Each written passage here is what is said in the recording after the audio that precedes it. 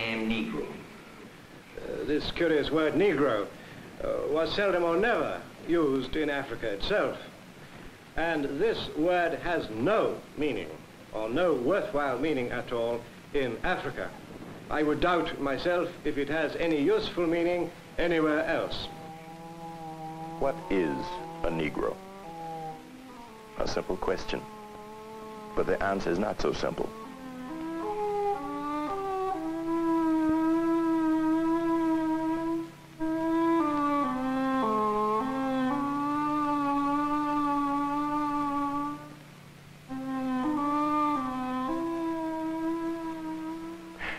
Is Ossie Davis. I'm an actor and a writer and the narrator of our series of programs on the history of the Negro people. I'm also a Negro. What is a Negro? In Africa, the word Negro has no meaning. In Brazil, a Negro is a man who's very poor and very black. And in the United States, a man who has any quantity of Negro blood, or whatever that is, is considered a Negro. Are Negroes a race, a people, or a condition? Our programs will be asking this question in many ways and in many different settings.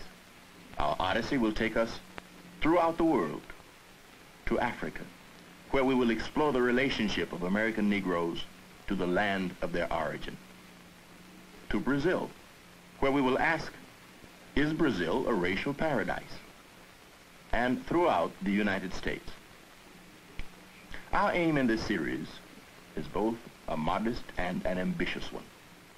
We will be asking many questions and perhaps answer only a few. For there is a vast ignorance of Negro history among whites and Negroes. And the job of filling this vacuum is massive. Do Negroes have a heritage and a tradition like the Greeks, the French, the Anglo-Saxons? Or are we something less, as others have portrayed us? Everywhere we have looked, we have seen Negroes as savage and barbaric, humble and self-sacrificing, scared and childish and inferior. And I remember as a kid coming from some of the pictures, and we spent the whole time from the, from the motion picture house to home uh, satirizing the Negro performances we saw in the film. Well, it was also an admission that somehow or other this was, to some degree, what we were. Now, these, these important and uh, impressionistic things that we got from these films did, to some degree, govern our behavior. When a Negro child goes into a movie, for instance, and sees himself or sees another Negro in an unfavorable light, he, he, he feels, to some degree, threatened. He feels uncomfortable. And a great deal of his laughing at that uh, situation will be the kind of laughter that protects him. It's a, it's a nervous attack against him, his self, uh, the way he looks at himself, the esteem with which he holds himself, and uh, how he will rate with his fellows in the streets. You know, uh, uh, it, it, it's, it's seeing something happen to you that you can't control, which leaves a scar, which leaves you feeling inadequate. You know, you don't feel loved. You're ashamed to look at yourself, ashamed to go home, ashamed to talk to the boys next door, ashamed even to ask these questions of your parents, although sometimes you do. It's a horrible situation, and sometimes we never get over that. As a Negro, I uh, honestly tried to believe that I was somebody. And I've always fought during my life to keep that feeling that I did have some value. And I say value knowing what that word means. And there's been many a night in my life when I went to sleep and known very deep inside me that I really wasn't worth much. I still do not really know what being a Negro is or what it means. It means that my skin is a little bit darker. It means that my cultural exposures have been somewhat different to other ethnic groups. It may even mean that as a human being, I might be more sensitive to need and despair.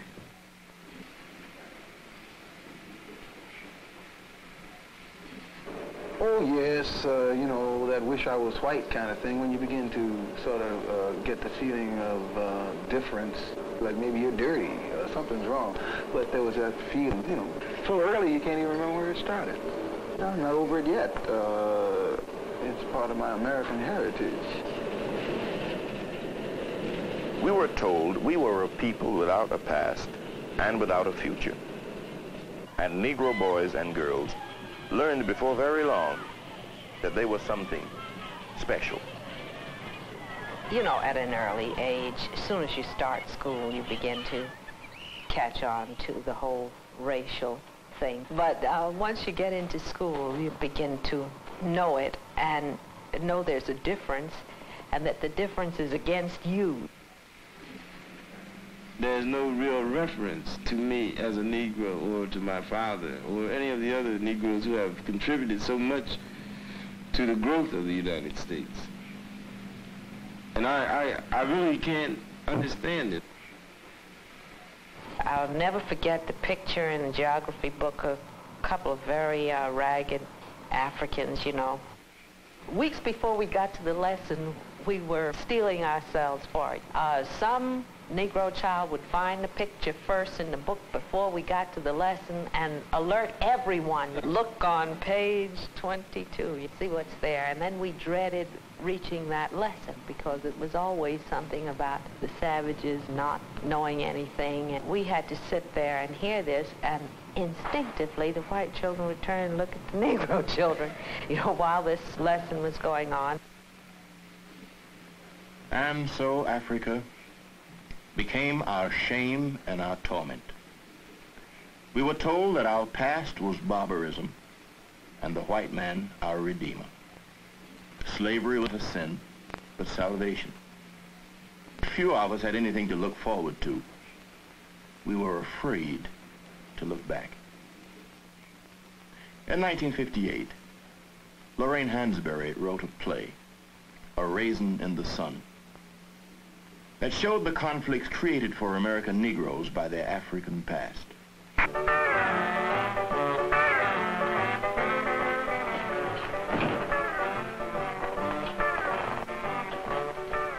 Well, what have we got tonight? You are now looking at what a well-dressed Nigerian woman would wear. Isn't that beautiful?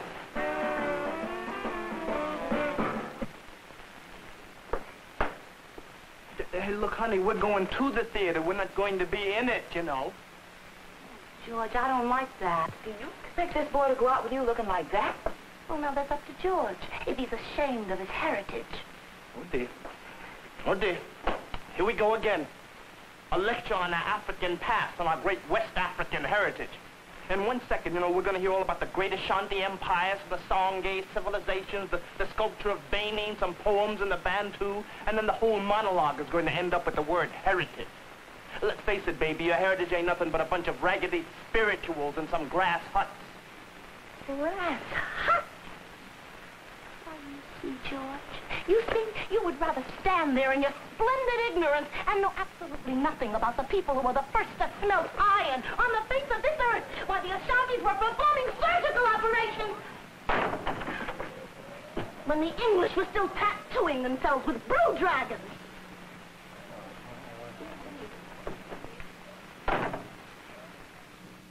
At the Heritage Program of HARYOU-ACT, federally sponsored effort to develop better opportunities for Harlem's Negro youth, a new version of African history is being taught.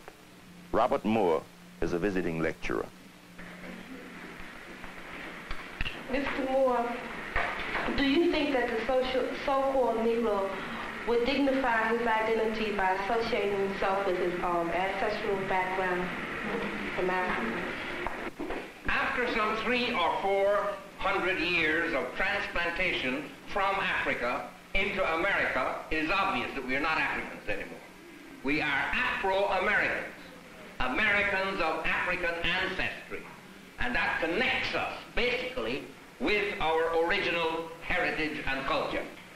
The accomplishments of Africa before and after Director of the program is John Henrik this Clarke. accomplishment is generally glossed over or neglected in human history. A lot of this, the misconception of Africa and the distortion of African history is involved in a word that is relatively new, the word Negro. A kind of nickname that grew out of European laziness, the inability or the uh, lack of a desire to give Africans their proper identity. In the period when the Europeans had to justify the exploitation of Africa and the demeaning of a whole people, they systematically started the effort to read the African out of human history. A great deal of our ignorance of African history sits upon the old conservative racial discrimination and prejudice which we have had in Europe. Basil Davidson is a British writer and historian on Africa. States. It still sits upon the belief, perfectly unscientific, quite unbased in any uh, scholarly discipline, that the Africans, that is to say, if you like, the Negroes, are people of some sort of inferiority to others and therefore have not been able to develop in the same way. Now, you know the great myth of the colonial era, the great myth took the shape of saying that the Africans, the Negroes, uh, are children, and because they are children, it said, failing to develop, we, the Europeans, you, the Americans, must go in there and show them the way they should go, civilize them, introduce them to the blessings of orderly life. One of the misunderstandings, you see, about Africa is the apparently primitive material nature of their civilization. You look at these people living in these villages and you wonder, what is their past? Do they have a past? Uh, what lies behind it all? They have nothing but a few straw buildings, nothing but a few cattle. Uh, it seems quite inconsiderable. The Dinka, for example, have no stone in their country. They have almost no metal. Half their country is underwater half the year. They cannot build and could never possibly build an imposing material civilization, but their achievement was, of course, to learn how to master their environment, and this they have done with quite outstanding success, so that the outside picture, the superficial picture, is, gives no indication at all of the depth of their culture. These are the people who have mastered the problems of taming this difficult, vast continent with all its extraordinarily great obstacles to living, its swamps, its deserts, its mountains, and its forests. The story of Africa over the last 2,000 years has been one of quite epic dimensions. Africa. Endless deserts, scorching and windswept by day, bitterly cold at night. And the Sahara, the world's largest desert, a harsh, bleak expanse of land challenging anyone to cross it.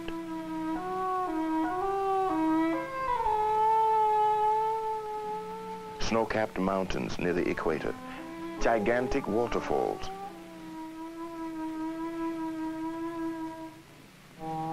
In the jungle mists and rain almost daily. These were some of the barriers to penetration. To the outside world, it was the dark continent, a land of mystery, where stories were spread of giants and dwarfs, of people whose heads grew under their arms, of monstrous animals.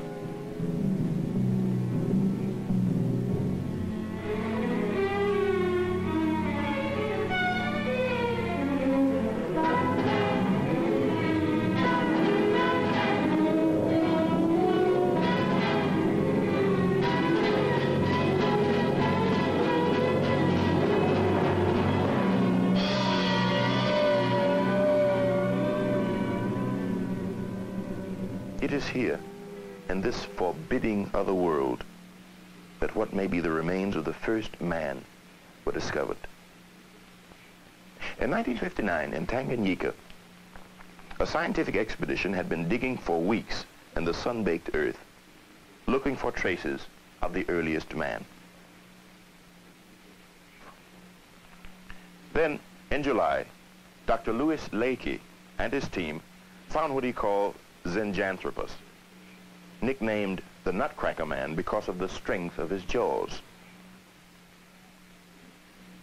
He was about 600,000 years old and maybe the creature that makes Africa the real cradle of mankind.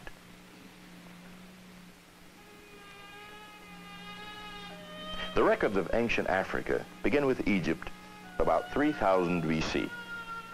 Its spectacular achievements of the monumental pyramid and brooding sphinx have always been credited to Asia and the Mediterranean. But there is growing evidence that Egypt owes more than originally thought to the land to the south, Kush, the land of the Negroes. About 700 BC, Kushite kings conquer Egypt and become the 25th dynasty. Little is known today about the land of Kush, but in the ancient world, it was highly respected. In 1791, the French philosopher Count de Volney wrote of the Kushites, a people now forgotten, discovered while others were yet barbarians the elements of arts and the sciences. Then, in about 325 AD, Kush is attacked and destroyed and disappears from our view. For the rest of Africa, there is little we can say for certain.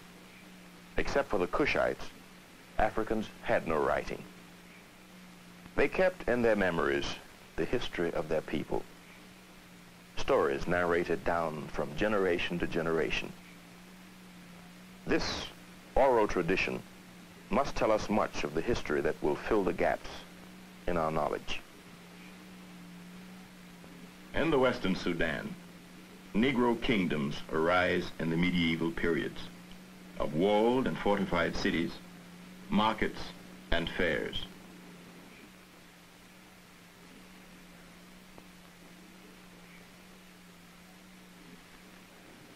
Ghana is the earliest of these civilizations, going back to 300 AD. In the 8th century, an Arab writer tells us that the Arabs sent an expedition to this pagan land of gold. African markets, the main source of gold before the discovery of America. Then, about 1067, Arabs from the north, fired by their new faith, storm into the western Sudan.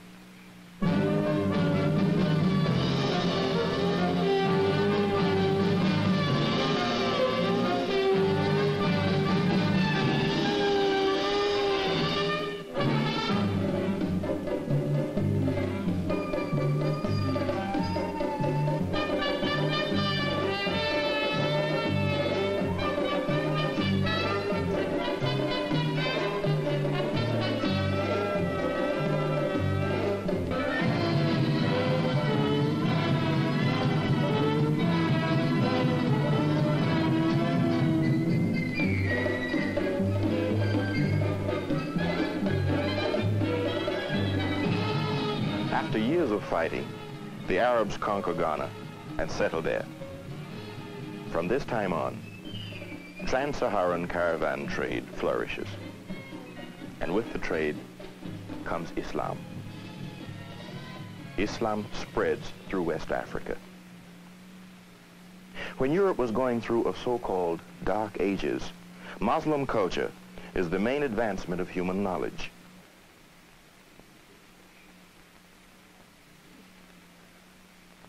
Most important of all, a written language comes to the Western Sudan.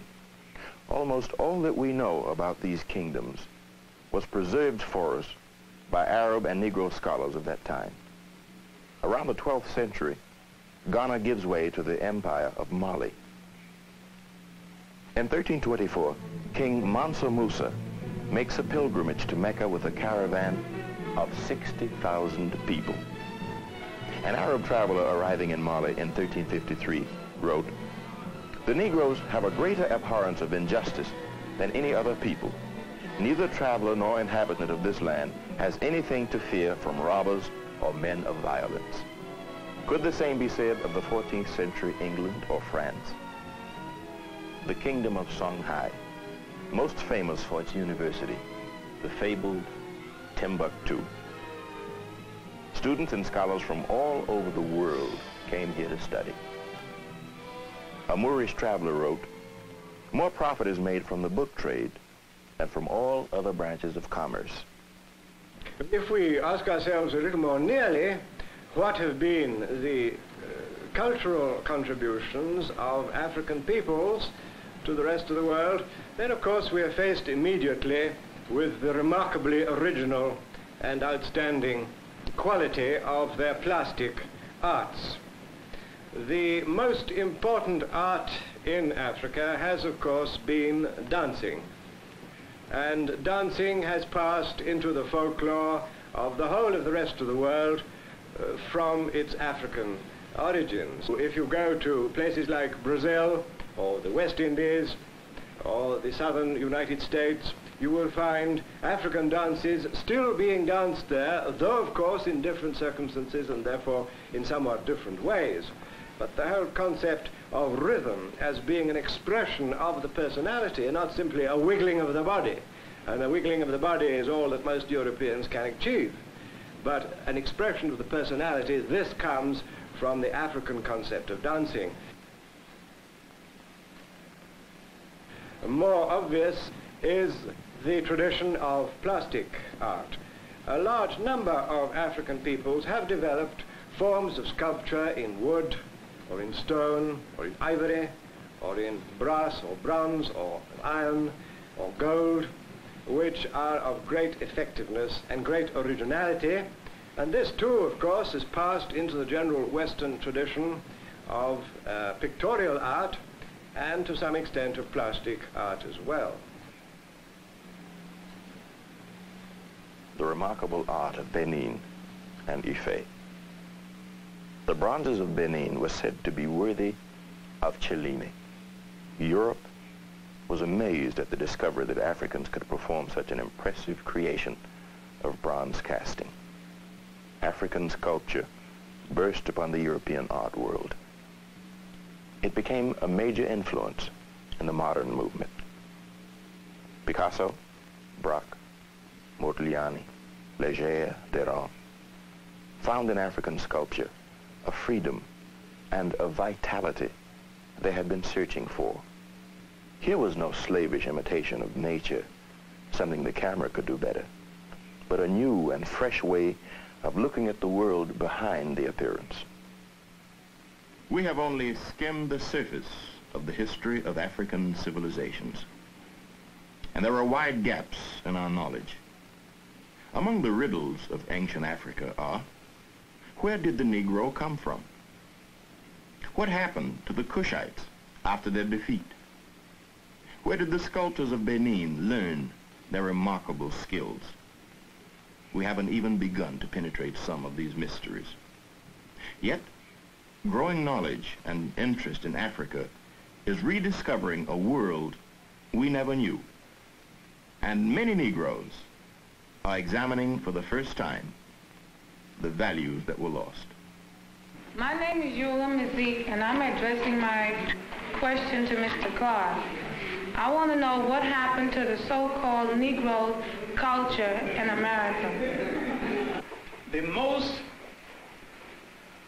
tragic destruction of African culture was the destruction of the African culture brought to these shores, brought to America's shores now, the first thing they did was to forbid the drum, forbid all African ceremonies, forbid African ornaments, literally to destroy a people in such a manner that they had to be remade in an American image.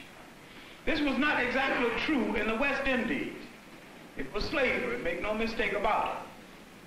But because it was on an island many of the Africans could communicate with each other and maintain some of the African culture, while in the United States it was impossible because as they arrived, mother, brother, sister were split up and they went in opposite directions.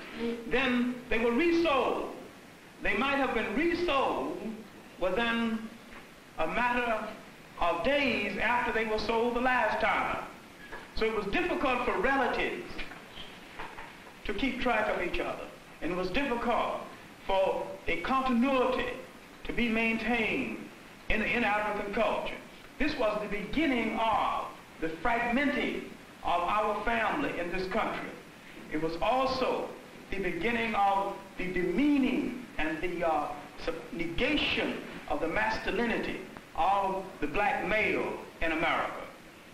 This demeaning of our culture and this reading us out of the commentary of human history has left deep psychological scars. What we are trying to do now is a massive job of rebuilding the inside, the spirits, the hopes, the history, the culture of a people. We're trying to restore those values that have been taken away. And we're trying to get across to black youth that they have a part to play in the making of a new world. They have the imagination, they have the energy. You must first restore that part of yourself that has been negated by oppression. It is as, is as essential to you as bread and water. It is part of the food that must feed your spirit in the world of tomorrow. And it is part of what you will have to transfer to your children.